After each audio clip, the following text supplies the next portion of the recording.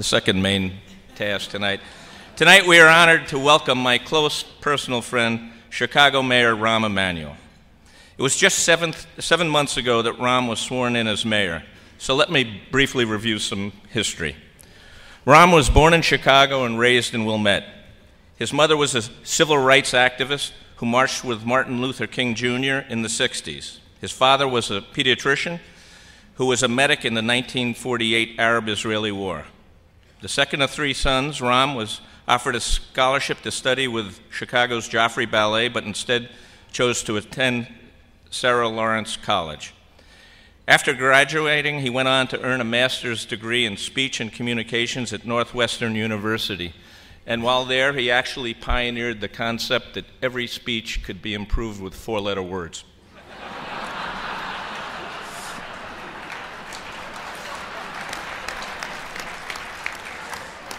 In 1989, he was the chief fundraiser for Richard Daley's successful mayoral campaign, where he garnered the attention of Bill Clinton's campaign, which promptly hired him.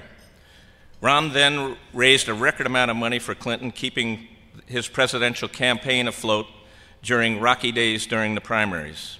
After Clinton took office, Rahm rose to become the president's chief political advisor, and he scored many victories during his first White House tour, including securing the North American Treaty, uh, the North American Free Trade Agreement passage.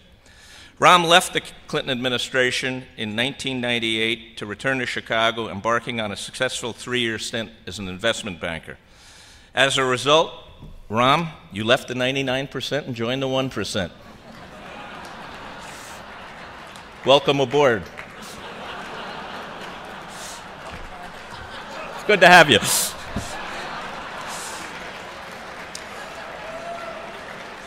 In 2002, he was elected to Congress on his first attempt repre representing Chicago's North Side. Three years later, he took over the, the Democratic Congressional Campaign Committee, engineering the party's uh, takeover of the House of Representatives in 2006. A lot happier day for Rahm than for me. By the time President Obama asked him to become chief of staff in 2009, Rahm was Democratic caucus chair, making him fourth in, in, in the House leadership. President Obama took over during a very tumultuous time for our country.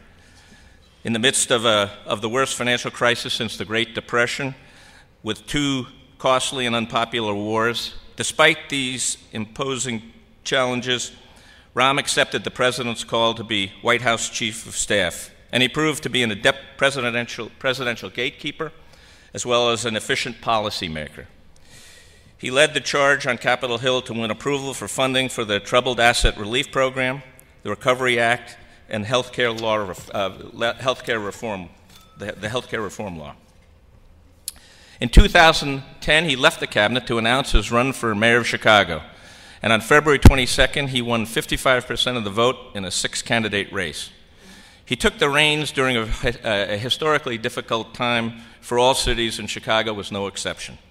The city had a budget shortfall topping $650 million, not including the hundreds of millions of dollars in underfunded pensions, or the $700 million deficit in the CPS budget. Additionally, he put more than uh, 1, uh, he put more police officers on the streets in high crime neighborhoods, fulfilling his campaign to add 1,000 officers to the streets. On his first day, he lopped off $70 million, $75 million from the city budget, and he has, been, he has been equally active in Springfield. Before even taking office, he successfully lobbied the state legislature to pass a landmark education package that allows school districts more freedom to fire bad teachers, makes it harder for teachers to strike, and finally gives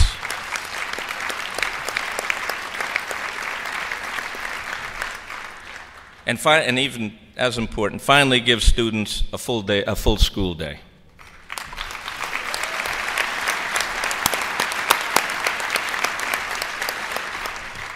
Job creation has also, also been at the top of his list. During his seven months in office, the mayor has brought 10,000 new jobs to the city from some of the best companies in America, including Motorola, JP Morgan, Walgreens, GE Capital, United Airlines, and most recently, Sara Lee.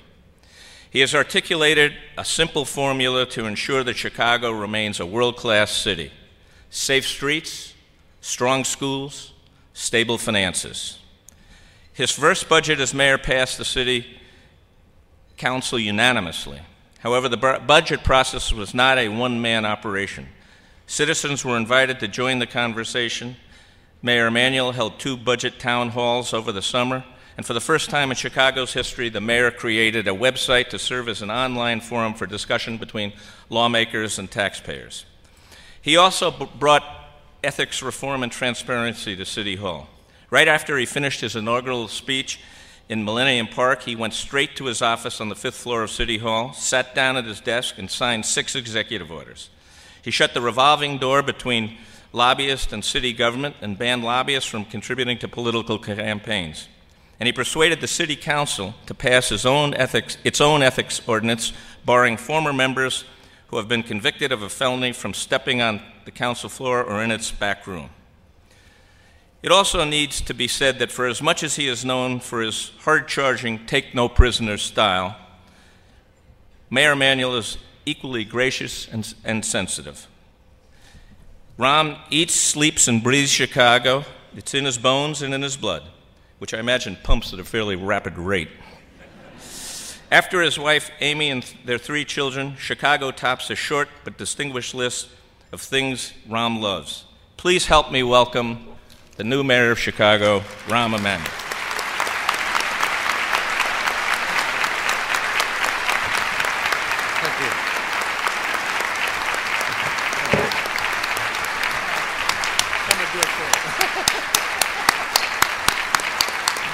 Thank you. Thank you very much, John. Uh, it's been noted uh, your election, which was unanimous. Uh, I haven't seen that since my budget passed, so congratulations on that.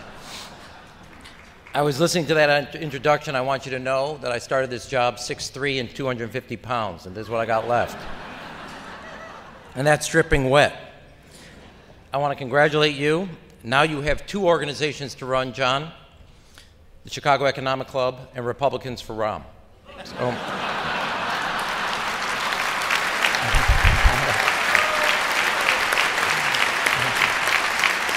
and in all honesty, John, I want you to I want you to make sure you get your priorities right.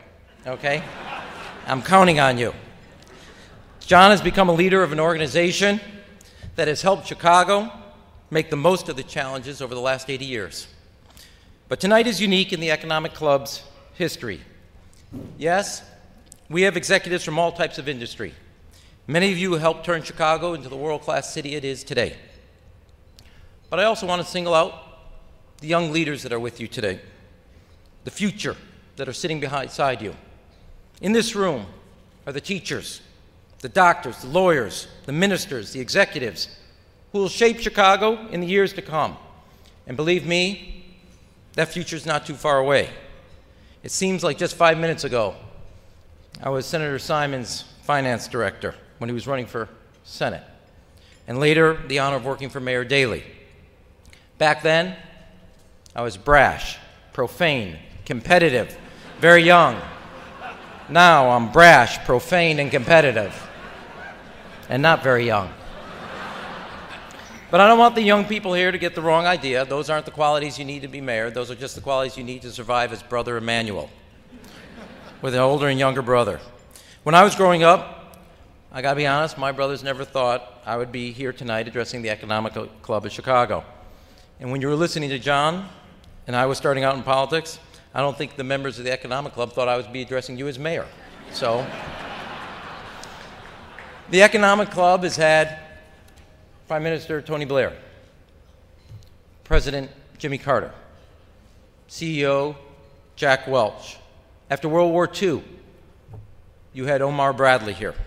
And what made that speech remarkable is Omar Bradley did not talk about the victory in World War II, but he talked about the challenges ahead for the battlefield and that what worked for us in World War II would not work for us in the future. And he saw the future when he spoke from this podium. In 1950s, the Economic Club of Chicago hosted a young senator from Massachusetts, John Kennedy, later to become president. And in that speech, John Kennedy talked about the importance of aligning America with emerging nations and their markets. In the 1950s, he could see over the horizon into the 21st century and see the country that we were to become and the economy that we were to become by merging with emerging nations and their economies. General Bradley, President Kennedy, made the most of their time by discussing the dangers and the opportunities ahead.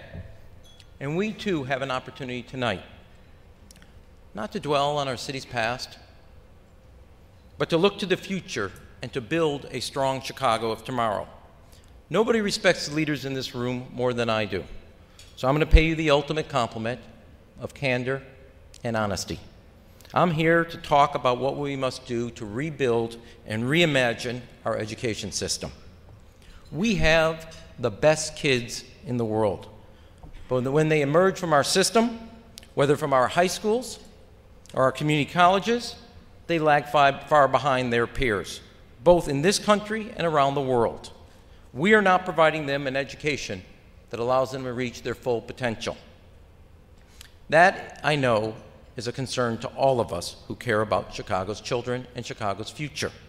And whether we are from the north side, south side, the west side, or downtown, we are one Chicago with one future. The task is enormous, but the equation is simple.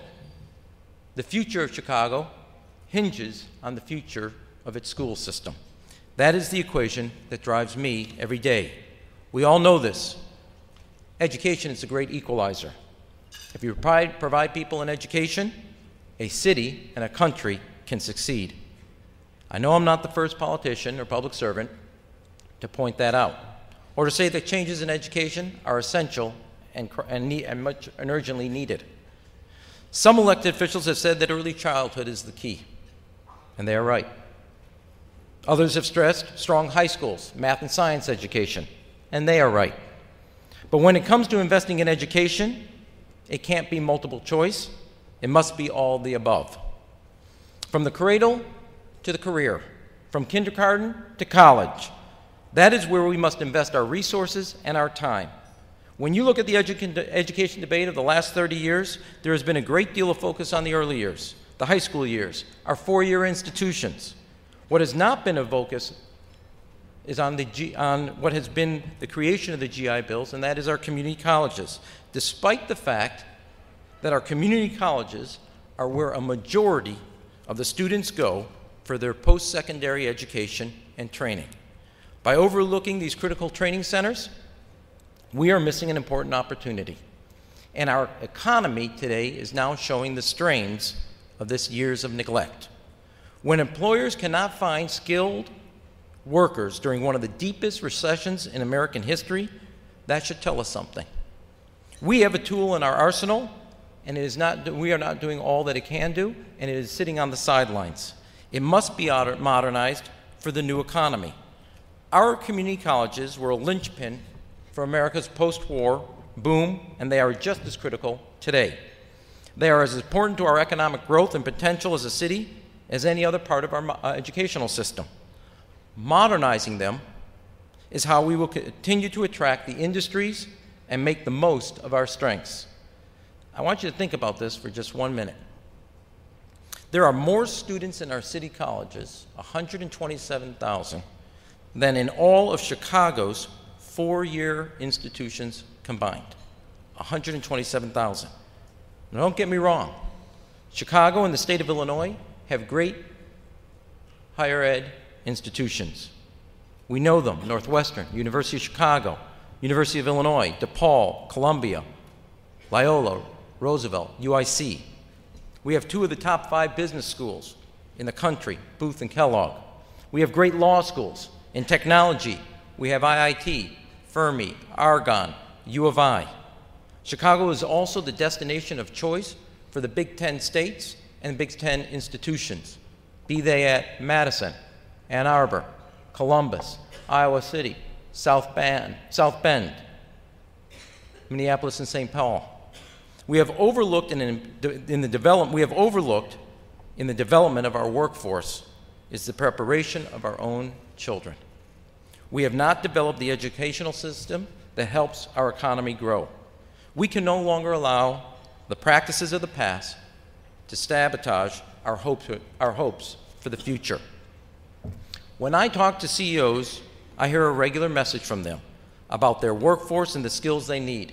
Whether it's Pat Woertz at ADM, Glenn Tilton at United, Glenn Tullman at Allscripts, Randall Stephenson at AT&T, Jamie Dimon at JP Morgan, or Vikram Pandit at Citibank, or some of you actually in this room as well. You all tell me the same thing. From welders to code writers to workers in healthcare, IT services, you need more skilled employees.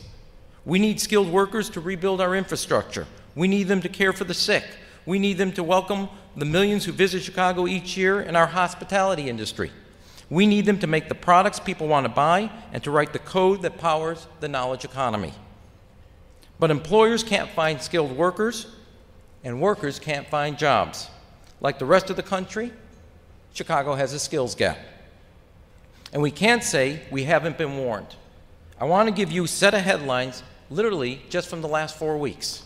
From the Wall Street Journal, November 16th, and I quote Study finds U.S. workers under pressure to improve skills but need so more support. In the Wall Street Journal on November 25th, in an unexpected twist, some skilled jobs go begging. I just did that to prove to you I read the Wall Street Journal.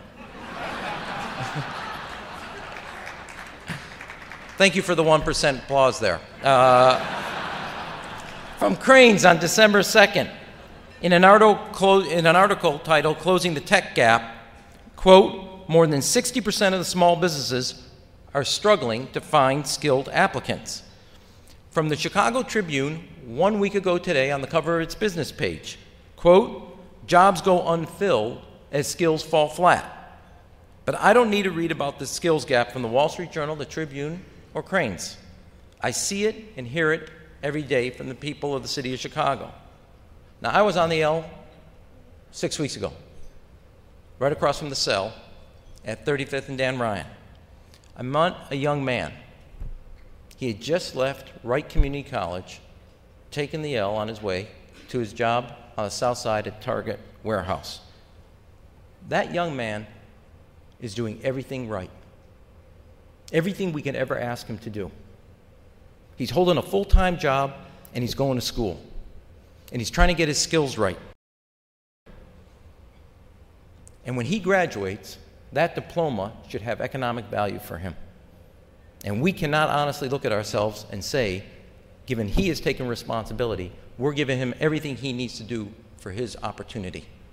So when he graduates, like the rest of us ourselves, when he puts whatever school it is, Wright, Truman, Kennedy King, Olive Harvey, it should have value to him and meaning to us as future employers. And that just doesn't work today. And that is the responsibility of everybody in this room to change.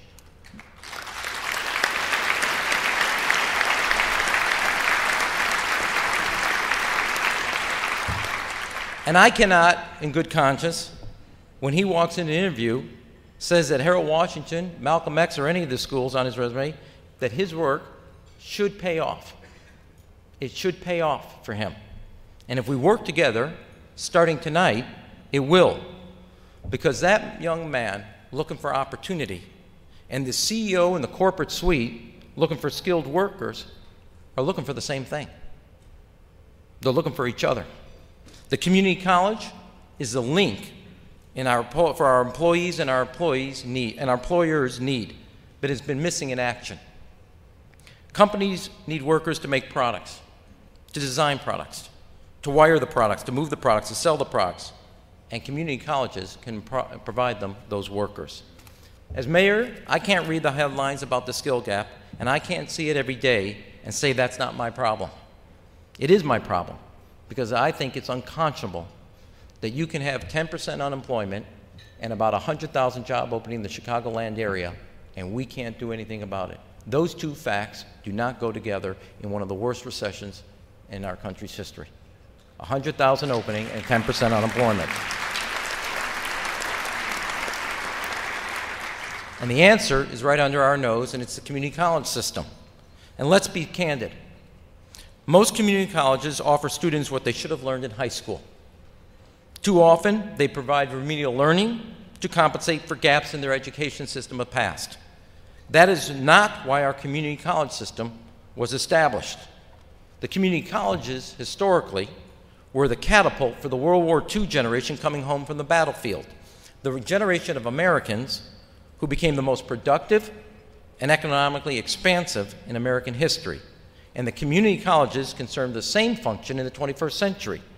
At the beginning of the 20th century, a high school education was essential for the industrial economy. At the beginning of the 21st century, two years of quality post secondary education are equally essential. That's especially true here in Chicago when you look at the, our engines of economic growth transportation and logistics, healthcare sciences, IT and computer sciences, convention and tourism, professional services, and high end manufacturing. We need our community colleges linked up to those growth sectors. And do that, and if we do that, we need our industry leaders linked up to the schools. Because of our central location, we are a transportation and logistics juggernaut. But we cannot rest on our location alone. And the question is will we train the workers we need to capitalize on that advantage? Because of our private sector industries that are the leaders in healthcare sciences, like Abbott Labs, Walgreens, Baxter's, Allscripts, and our hospitals like Rush, Stroger, Northwestern, University of Chicago, Merge, we are becoming a global healthcare hub. The question is, will we train for it? Because of McCormick Place and O'Hare, we continue to be a world leader in tourism and the convention industry. The question is, will we train for it? Because of Navistar, Ford, Mittal Steel, we serve as a national center for high end manufacturing. The question is, will we train for it? Because of Motorola Solutions, Molex, and Groupon, we can be the nation's next hotspot for technology and innovation. The question is, will we train for it? Because we are home to great global businesses like Aon, Boeing, and United. And we are home to some of the great law firms, great consulting firms like Accenture, great accounting firms like Ernst & Young. We are a professional service hub for the larger Midwest. The question is, will we train for it? Because we're about to launch the largest infrastructure project and any investment for any city in the country, not just for our water, but for our roads and soon for our mass transit, we will need strong partnership with labor. We will need workers in skilled trades. The question is, will we train for it? And tonight, here in this room, we answer that fundamental question. Don't worry, it's not a take home exam. Tonight, we charge our community colleges with a new mission to train the workforce of today for the jobs of tomorrow, to give our students the ability to achieve a middle class standard of living, to provide our companies with the skilled workers they need. Cities like Miami and Louisville have tried something similar, but in a single industry. Miami matched a community college with healthcare sciences. Louisville has linked a community college with UPS to be a leader in logistics. But this is Chicago. We do things bigger, bolder, more ambitious, and more comprehensive, something to match the diversity and the depth of our economy, which is one of our strengths. So tonight I'm announcing that we'll tailor six of our community colleges to train students in specific growth sectors where we know we can dominate the future. We are announcing the first two schools and their partners tonight. Malcolm X College will be the school that drives Chicago's leadership in healthcare sciences. Rush Medical Center, Stroger, and Northwestern Hospitals, Advocate Healthcare, Baxter, Walgreens, and Allscripts have agreed to partner with Ma Malcolm X College to develop their curriculum and train their faculty so the workers that will drive our healthcare sciences will be trained for the future jobs.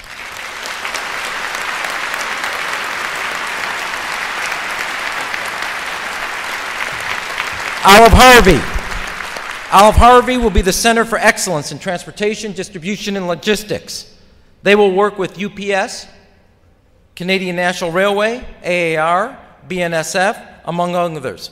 They will be Olive Harvey's partner in modernizing their programs and providing the training students need to compete in the transportation, distribution, and logistics field.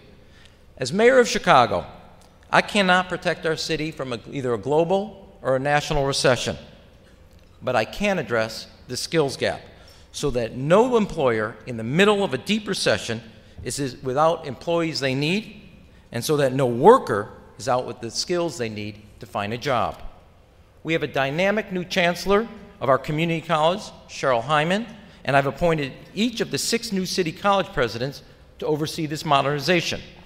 But this reinvention and the investments required to make our school system world class is something that all of us must be a part of. Reinvention is nothing new for the city of Chicago.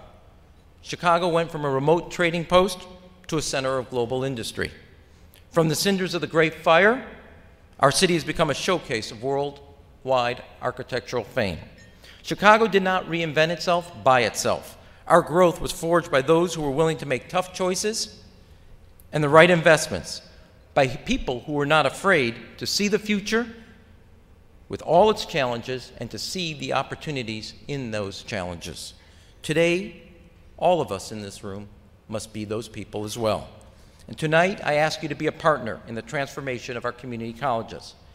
Every year, for the next three years, we will modernize two schools and match them with partners in the private sector to train the workers for our factories, for our offices, for our hospitals, for our hotel industry, and for our infrastructure, and for the computer science field. In the same way that you help Booth and Kellogg prepare their graduates for careers in management and finances, which is appropriate, we need you to partner with the community colleges so that their curriculums meet the ne- sector's needs that power the Chicago economy. I'm not talking about hiring a person or even a partnership or an internship. It's deeper and more fundamental than that. This is about ensuring that the curriculum taught at the community colleges provides the skills you need at your workplace or your place of employment. By making a diploma from our community colleges into a ticket for the workforce of tomorrow, we will make them the first option of job training, not the last. I do not expect you to do this alone. Our community colleges and the leaders will be right there with you. And whatever you invest in our schools, you will get back many times over because of the skilled employees who have the training to work in your operations. There's no greater investment we can make in the life of our city than the one we make in the lives of our students. And I can tell you that personally, there's no greater reward. Meeting young people on the campaign trail or in my visits to schools as mayor, that's something I see every day. Every day, our students wake up optimistic about their future. They believe they can achieve great things, and many of them do, even great, against great odds. If our students have the strength to turn obstacles into opportunities, surely as adults we do too. Some say that comprehensive investments in all levels of education in our communities is impossible. Today's fiscal challenges make it more difficult. Yes, we have to set priorities. And yes, we have to make tough choices. And that's what we're doing tonight. But to those who say that we can't afford to confront these challenges, I say we can't afford not to. And let me tell you something. We're already doing the changes at our K through 12. This year alone, four new charter schools have opened, serving 2,000 more students. Five more will come online next year. 2,300 more kids this year are attending magnet schools of excellence. 6,000 more kids are getting a full day of pre K kindergarten. And this year, at my subtle urging, 13 Chicago public schools are offering a full school day.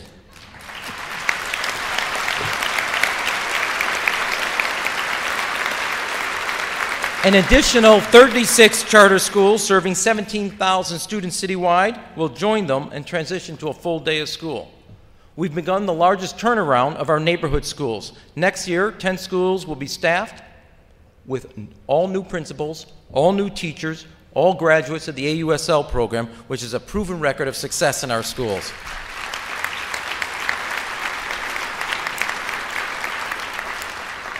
And nothing makes me prouder than this last fact. Beginning next year, every child in the Chicago Public School will get an additional 250 hours of instructional time in math, science, reading, geography, and history, equal to the kids around the world.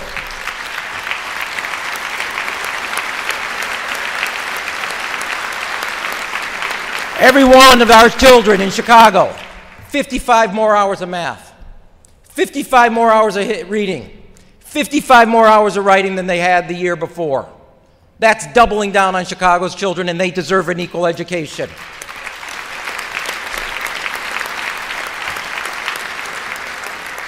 But longer hours, a full day of school, and a full scale a school year doesn't do it all. Because you cannot do it unless you invest in the three things that matter year in and year out to everybody in this room, because that's how we got here. A principal that's willing to be accountable, a teacher that's motivated to teach, and a parent that is fully engaged. You put those three things together, and I'll give you a kid that's ready to go to school and ready to learn and who will be a success in life. It's what has got us all in this room here to join, as John Canning noted, the 1%. And the kids of the city of Chicago deserve no less. They're our kids, they're our future, this is our city.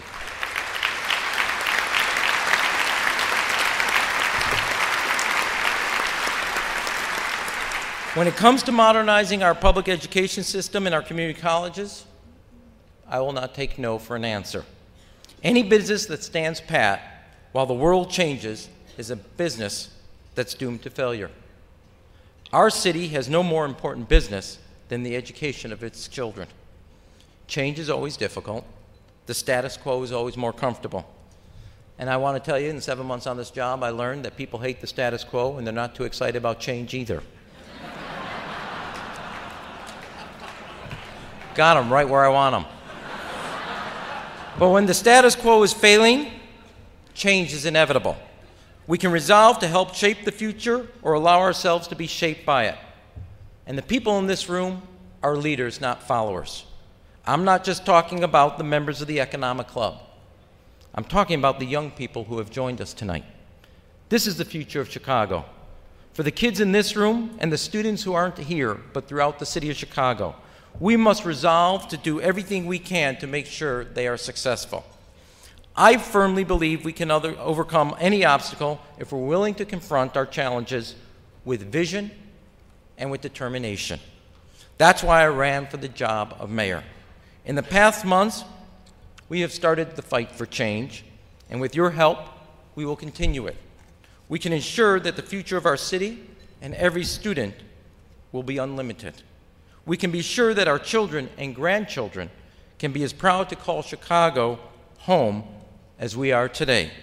I want to thank you. God bless you. Wish you a happy and a healthy new year. And God bless the children of Chicago.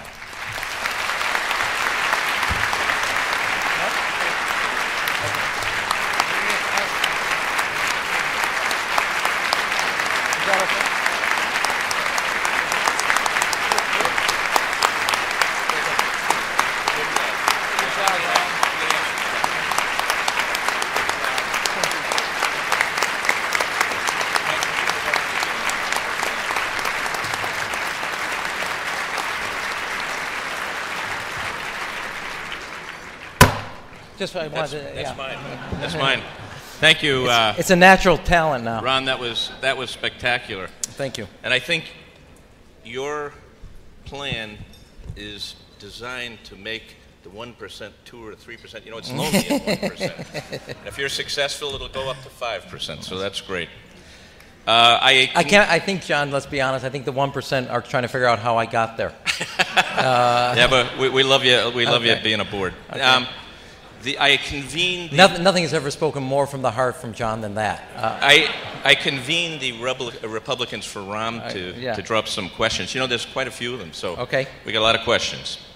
So let me, sticking on the education theme. In your inaugural address in May, you put special emphasis on the tragic gun deaths of, of children. How does the full school day interface with yours and Superintendent McCarthy's efforts to keep our, uh, uh, keep our streets safe and, and our children safe?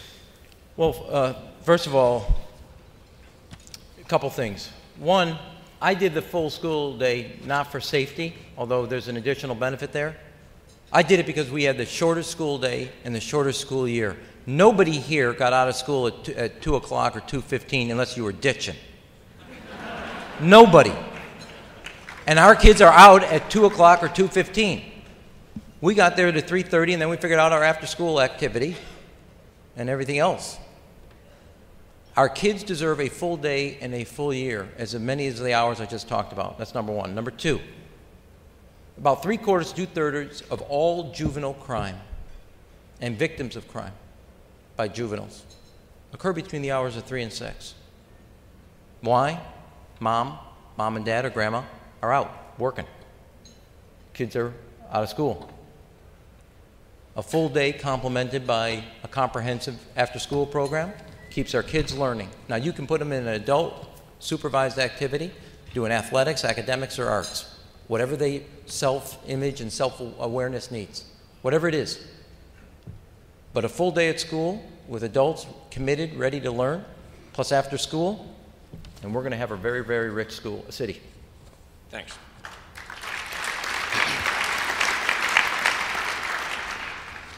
Chicago will host the uh, NATO and G8 summits uh, this May, and Chicago will be the only city to have hosted both summits since London in the 1970s. What is your administration doing to prepare for such a major event, and how will those preparations affect Chicago's economy? Well, first of all, thank you. I think this is a unique opportunity for the city. It's a, an event in which literally close to three to 4,000 reporters worldwide will be coming to the city of Chicago almost equal like the Olympics. Second, we'll have 45 world leaders, finance ministers, defense ministers, foreign ministers. London has, as you noted, hadn't had it since 1977. It's a type of world-class, world-class attention that a city that's with an international economic footprint and an economic model based on international uh, sales and marketing would crave for. We're preparing for it the proper way and getting ourselves organized as you know, Lori Healey's here. We're working on that day in and day out, both people at the police department, OEMC, and all the other functions. But this is a unique opportunity in the same way the Olympics were for the city to present itself to the world. Every finance minister of the G8 and the six attending nations will be here. Every member of the G8 heads of state, plus the six additional countries from emerging markets, will be here. Every member of NATO, 28, heads of state, foreign ministers, defense ministers will be here. Every member of ISAF, not full members of NATO, but partnering countries, heads of state, defense ministers, foreign ministers will be here. It's a unique opportunity to tell the world what we all know and hold dear to ourselves that this is a world class city with world class potential.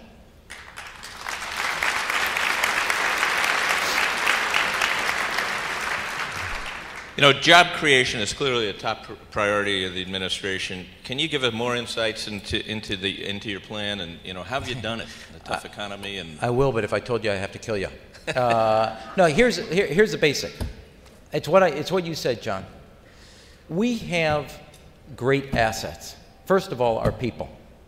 Everybody knows it. Midwest values, hardworking, hard ethic. Hardworking ethic. Hard work ethic. I get up at 5, way past my bedtime. Um, number two, we're centrally located. You get anywhere in the world, anywhere in the country directly. We're the only airport in America that ha- in North America that has both major carriers. We have intermodal traffic juggernaut. We have great research institutions, great universities. We lead literally in major fields. Healthcare, some of the leaders right here risk management with CME, CBOE, business consulting, insurance. We are the leaders in this field. McKinsey study did a report for World Business Chicago. While we've lost a big amount of manufacturing jobs, we're actually holding our own in high-end manufacturing jobs. What are we doing for it? Which is one of the things I was trying to address today. So while we lead in these sectors, transportation, as I said, healthcare, et cetera, I want to, I cannot create jobs. Now, that used to be the history in the city of Chicago. Government created jobs. I don't. I create conditions so you can create jobs. That's the difference. I create conditions. Those conditions, strong and stable government, good education system, accentuate our strengths in both the private sector and public sector. we'll never replace our location, but we got to invest in our airport. A lot of people like the fact they can get, their employees can get from home to work conveniently. So our mass transit system has to be developed and constantly modernized.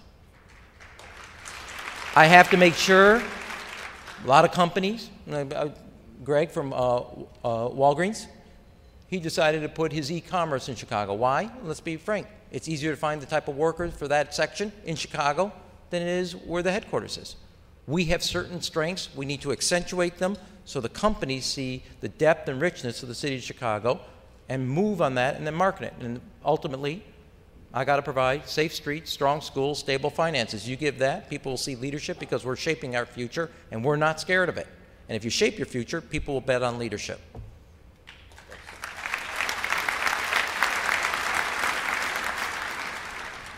You, you may have heard there was a recent high profile public trial that ended in a 14 year sentence. Uh, U.S. history and, for 200. And whether we. and whether.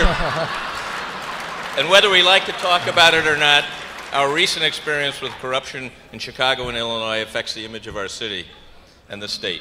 How do you plan to address this daunting issue? Well, John, you said some of it in the introduction. One of the first things I did, I wasn't in office uh, two hours. I signed six executive orders, all related to ethics and campaign finance reform. Second is I had the city council make changes. I mean, you think it's normal, but if you used to be uh, an alderman, we were found corrupt, sent, served time, you could still work on the city council when you got out of jail. That's over. Now I just impaneled the leaders in the state, all on ethics, gave them 120 days to come back with a series of reforms. It is a never ending process. But here's something you've had now in the first six months somebody's a lobbyist, who they pay, who pays them, who their clients are, who they lobby, who they contribute, all online, easy to use. Number two, you work in my administration, you cannot lobby for two years when you leave. The revolving door is shut. I want what motivates you to be public service, not your Rolodex development. Three, I'm serious about that. I think it's a high honor to be in public service. And I want people to exude, that I hire to exude that. They may never join the 1% after that, but that's it. now, the third is, but also, we've got a group, and I want people, because look, I'm going to be honest with you. I have a progressive vision. And to have that, you have to have people have trust, have an affirmative view of government. And we're at a low end. One of the things is we violated it, both on the ethical side and how we do things. And part of what the ethics is, A, that's, I think, how you should conduct yourself. Back in 2005, Senator Obama and Congressman Emanuel introduced the ethics reform that passed in 2007. So I have a long history on this. I think it's about building trust, confidence again, that public service is one of the highest callings you can do in your life. So if, if we should get gambling, how, how do you ensure the integrity of gambling? Uh, well, first of all, you have a strong board and you have great board oversight. And that's number one. Number two, other cities are doing it, and there's oversight and expansion are not inconsistent. They go together. And people will only do that if they have trust in what you're doing. So you've mentioned we have some great assets in Chicago. You know, during the current budget uh, constraints, how do you plan Chicago to keep Chicago a, a vibrant and growing city, uh, and and the physical planning of the city? For instance, um, what can we do to increase our lakefront and riverway as a recreational uh, attraction. Okay. First of all, I want you to know uh, Laurence Msall is here. The city budget for the city of Chicago's corporate account, the one I just passed, Park District, city colleges, Chicago Public School System, all four received positive ratings by Laurence Msall. And that's giving people confidence that we're headed. Now, we have hard work, but we're headed in the right direction. We got this thing turned in the right place. That's a long time since all four of them have been praised for what we're doing about putting our fiscal house in order and not being scared to make changes. That's no different than what President Preckwinkle is doing at the county right now. Being willing to shape the future, not be scared by it. Number two, you will see, look, when I got to Congress, I introduced the first time this whole concept of Lake Michigan Compact, or the Great Lakes Compact. What energy was for the last 30 years, water will be for the next 30 years. That is the most important commodity right out that window, right out that door. Most important commodity. And we got to start investing in it, which is why I helped President Obama create $492 million in the Great Lakes Compact. I've also announced for our rivers that they will become the next recreational frontier. And we're putting four boathouses for kayaking, canoeing, sculling, and picnicking all along the river. Because when we were growing up, and still today, the river is for moving industrial cargo and raw sewage. It is an incredible asset. We have seven more miles of riverfront than we do lakefront. And it's what we all do now is just drive over it. Value along water is 10% higher than any other property just by being next to water because of the beauty. If we invest in our river, our backyard can be as promising for us as our front yard, which is what the lake is. Great.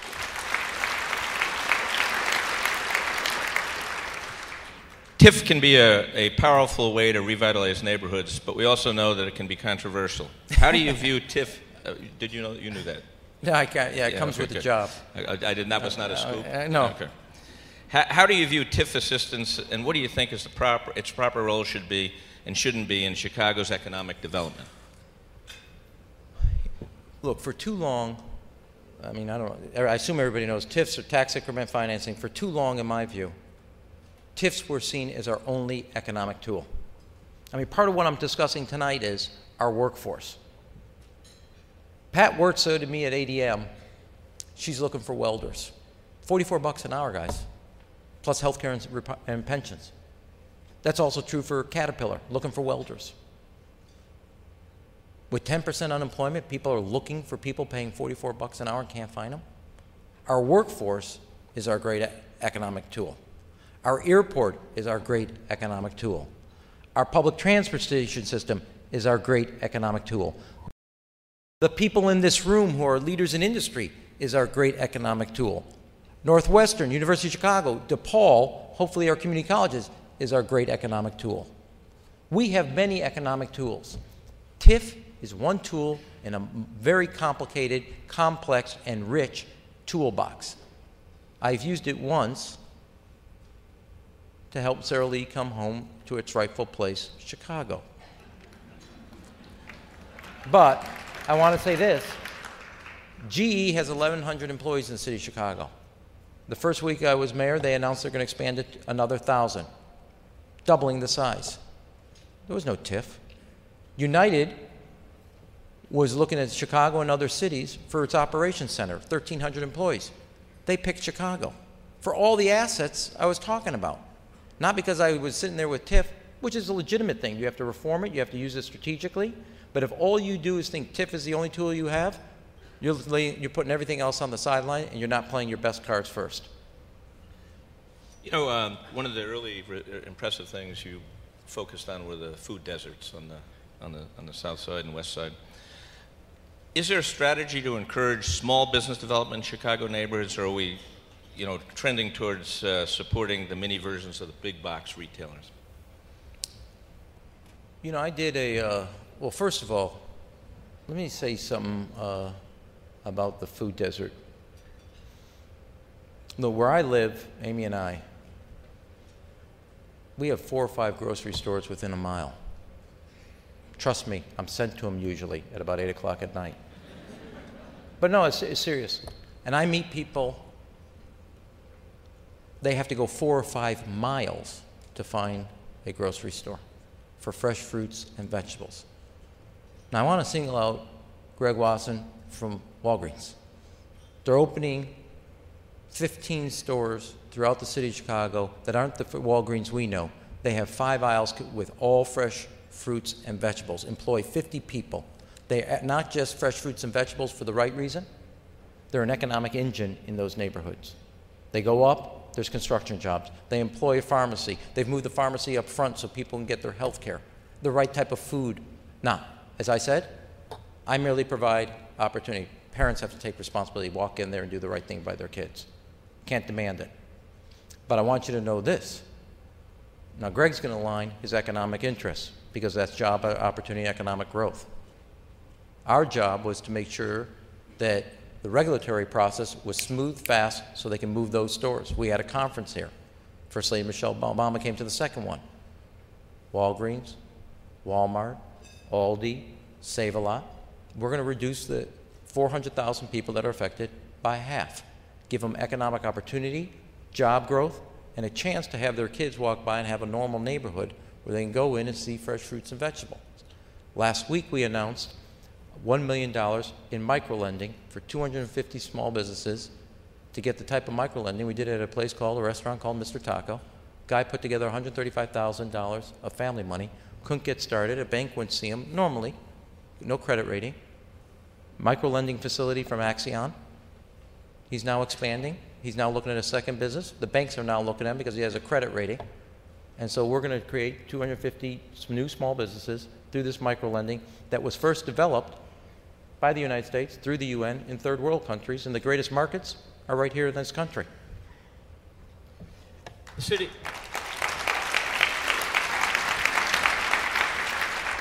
The city is currently deploying a managed competition model in the city's recycling program, allowing for private companies and the public sector to bid on providing recycling services. Do you plan to replicate this model in other areas of city services? Yeah, first of all, yes, in eight different sectors, uh, tree trimming, booting, etc., we're doing it.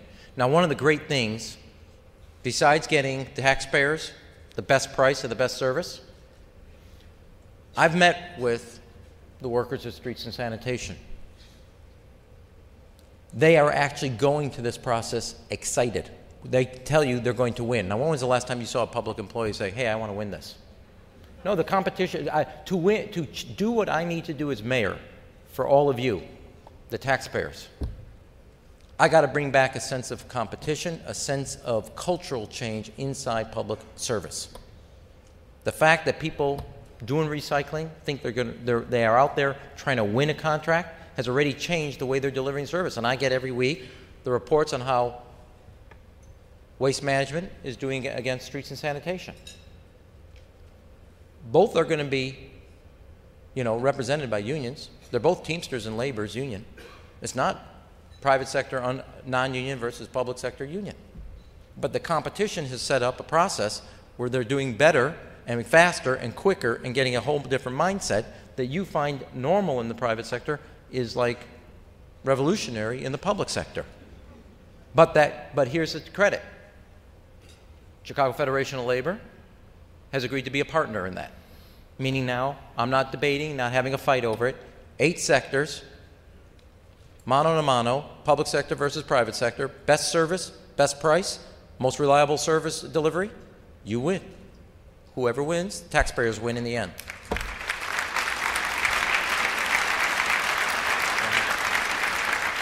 You know, uh, the, the full school day, uh, day was positively received by everyone but. I, I, wouldn't go by everyone, but I, I think it was very I positive. I had, I had, I was not done. uh, are there other reforms we haven't heard about yet that are in, this, in CPS that, that are doable in the context of uh, your union contracts? And well, first of all, we just are embarking now on the largest, uh, both what I would call the turnover of schools to schools of excellence from AUSL. Now, let me say something about the AUSL model. I went to my old Wright Community College in my congressional district, was a K through, uh, was a uh, kindergarten through eighth grade. Helped create the high school there. They trained teachers to get with the Master's of Education one year in the classroom, and then the graduates go to another school that becomes a neighborhood turn, uh, turnaround. Now, every one of these schools, Zipporah Hightower, who's a principal at Bethune, scores are up on average double what is the rest of CPS because it's not one teacher, one principal. The entire teacher corps, principal, everybody removed, new principal, new teachers, the whole system. The results are not once, twice. They run 17 schools. We're now doing 10 of them in that model. And what is most impressive to me, at each of these schools, parent participation in the parent teacher conferences is at 75 percent. Because if you do a good school with good teachers, parents will respond. That's the recipe to success. We're also doing an expansion of charters for the first time now. Gates is funding the Charter Compact. They'll be under the oversight of CPS. They don't lose their independence, but they'll be accountable for results, which has not happened before. We're also expanding our, as I said, we're doubling the size, 50% increase of our pre-K all-day school, because you can't make it up if you lose it in the years one through five. 14 schools have got the state-of-the-art security cameras that we put at Finger. My whole idea is to invest in the classroom and take it out of the bureaucracy. So there's more changes to come. We can't afford to keep on the status quo. And the good news is the kids uh, are showing, I think, the type of promise given their attendance and what's going on.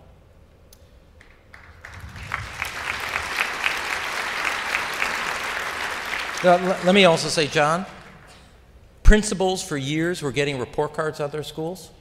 We're making that all available now to parents. I can't ask parents to be involved if I pull back information. Every school will have a four year performance contract. We can rate the performance of the principal. We're the first school system in the country to give principals performance pay. You improve your scores for your kids, teacher quality, you're going to get a bonus. It's the first school system. The CEO of the school system, performance pay. Principals, performance pay. Teachers, performance pay. It's the school, first school system from the classroom to the corporate suite, inside CPS, everybody's on performance pay.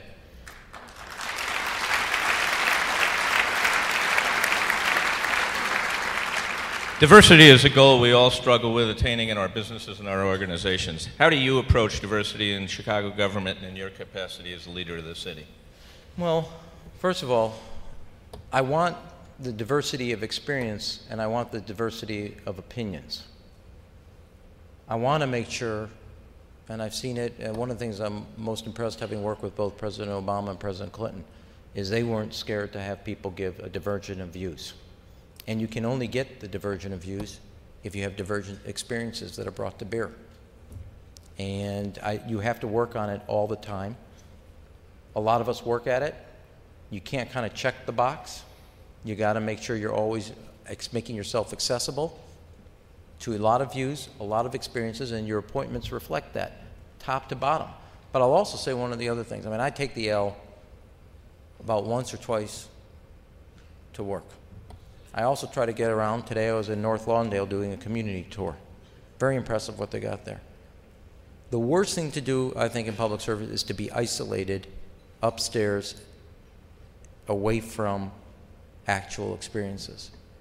The thing I have to do is remember the voices, the experiences, and the stories of the people you meet so you can carry it up to your desk like the young man I said tonight, who was on 35th and Dan Ryan, he's going to Harold Washington. He's working. He has a basic agreement. He's showing all the things you want somebody to do. And if I didn't hear that, and we are joking tonight about 1%, but in all seriousness, we have to, in my position, and I think also in yours, you got to be able to hear the voices and the stress in people's lives. There's a lot of pressure on middle class families trying to just hold on, provide for their families, provide them a good living, make sure their kids have a shot at a future. And the most important thing I can do is not only have the diversity racially, sexually, ethnically, is to make sure I have a diversity of opinions that are coming to me so you don't get isolated in these jobs. Okay? I have to be honest, my nomination was conditioned by Andy McKenna on finishing by 9 o'clock, and he said he would reconvene Where are we? the former chairs. Five So- of? I'll be five quick. ofs. No, no, Okay. no. Yeah, I'll I've be got, quick. uh, but I've got, I've got a, a, a final round of questions. We call I got a final round of answers. I, I had no doubt. Yeah. So this is the way this works is I ask you a question, you got to give me the first thing that comes into your mind. All right. Isn't it, don't, don't I really need Blue Cross and Blue Shield for this? So for here, my here mental health? Most fun day since taking office. Most fun day since taking office?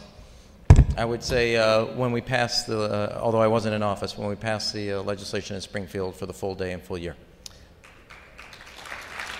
Oh, let me say, no, I'll give you another one. That, that wasn't the rule. I'm sorry. I'm going to give you uh, three quick examples. Jeez. Okay, yeah? No? You're there. I have, I have too many fun days, obviously. We have ESPN rated Simeon the best high school basketball team in the country. Mather High School just won for the first time in the state of Illinois in 30 years the soccer championship. They have five continents on that team. I called a young man, 10th grader, Whitney Young, national champion, chess, ch- chess champion. Our kids are great kids. Go. Uh, the, fa- the Farmer's Almanac predicts uh, the winter of 2012 will be, will be one of the worst ever. What do you think?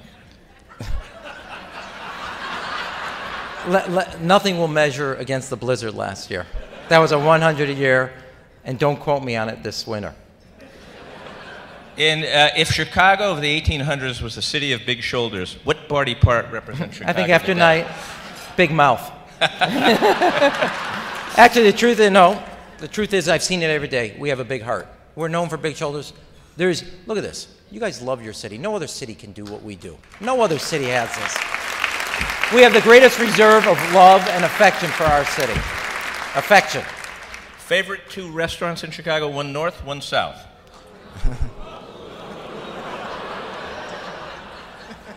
You got to be kidding. Nope. I'm not making you go west. Okay. On the north side, it's not. It is favorite in the sense that it's. Uh, when I was a congressman, Amy and I used to go there for date night. It's called uh, Glenn's. It's a fish restaurant on Montrose, and then Nightwood down in Pilsen. All right. Fred Busse, a Republican, was mayor of Chicago 104 years ago when the Cubs won the World Series during his first. Will the Cubs finally repeat during your administration? Well, given that you got your first Jewish mayor, it's a safe bet. That, I will say this. that tells me you're gonna you're gonna run several more Uh, ele- re-election You know, I, I will say I said this to my office, but then they, when the Cubs picked Theo Epstein, the Bears got Gabe. I said, you know, are people losing their minds? Nobody would ever have a Jew in sports. What the hell's going on around here? who, who will win the Republican nomination for president? People usually pay a lot of money for that advice, John. Republicans for a minute. yeah. You know, I'm actually beginning to see, feel sorry for Republican primary voters. Uh, look, uh,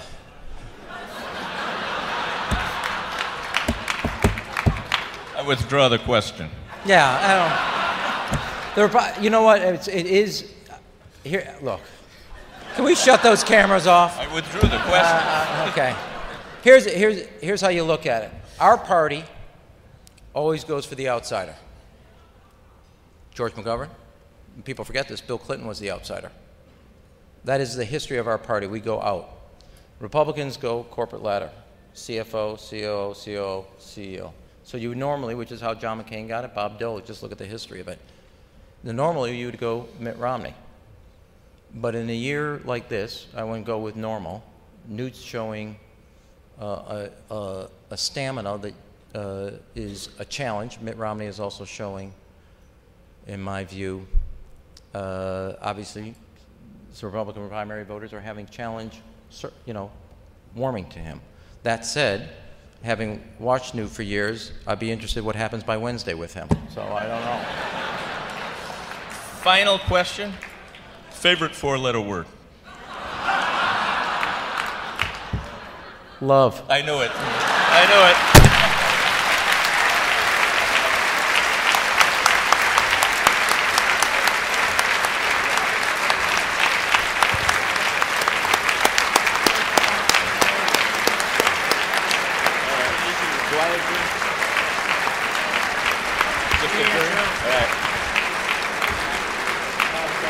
Yeah. Can uh, can anybody believe this is only seven months? So this meeting is adjourned. Thank you.